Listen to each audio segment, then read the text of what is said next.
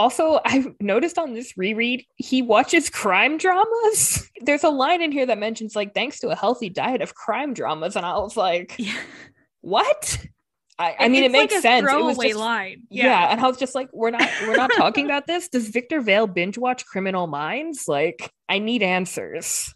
I feel like Criminal Minds and then like CSI and Mhm. SVU, like all those. Yes. Dun, dun. Yeah.